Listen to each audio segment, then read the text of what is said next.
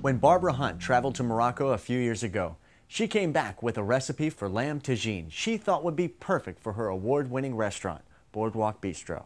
So the restaurant's owner and sommelier handed it over to her chefs. We put our little flair on it, and now this is the lamb tagine we got. This, this dish right here is a savory, spicy, sweet dish. Um, I can't tell you the secrets that I put in my marinade, but I will say they're special seasonings. We're gonna go pinch of garlic. We're gonna go another two pinches of ginger. Mix that in. We're gonna go with my spices. We're gonna go cumin,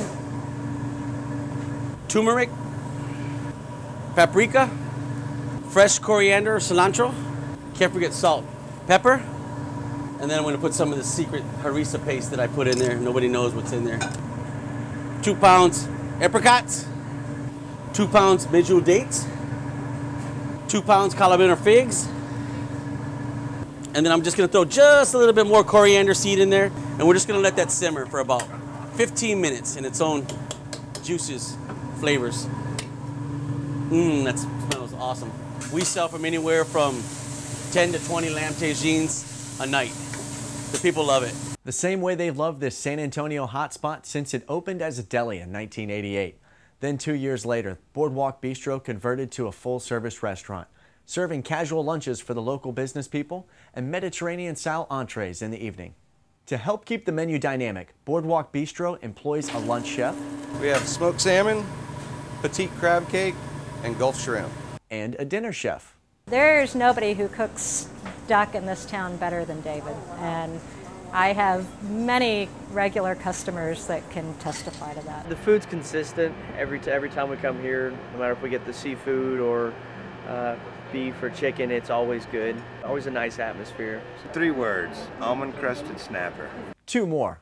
Barbara Hunt, a world traveler and wine expert with a degree in dietetics. Hunt opened the restaurant as a vehicle to share her passions.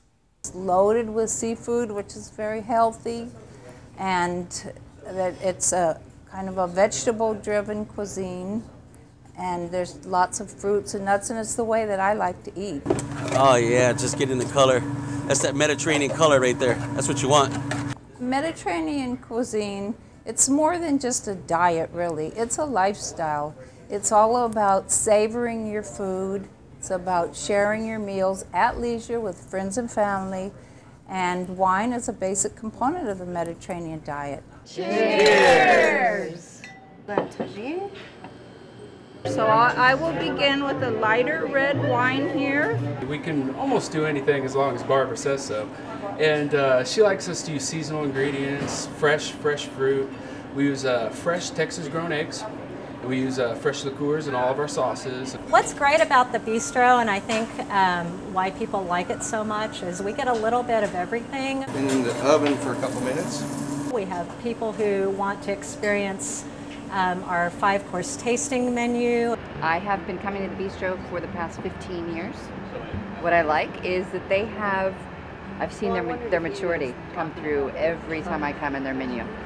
Um, they have the best selection of wines, in my opinion, in San Antonio, and the best pairing of food with those wines.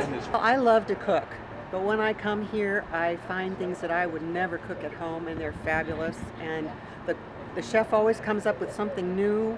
He's very creative. We love what he what he does with his food. We love the wait staff, and we love the entertainment they have here. Our favorite musicians perform here, and it's great.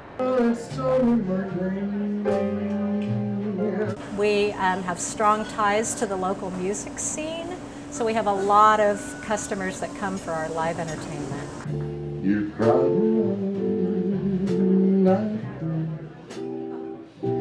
We don't settle for less than perfect and you know we when we have a menu for a few months and we feel like our regulars you know want to try something different we challenge ourselves to come up with a entirely different menu that makes us strive to be better.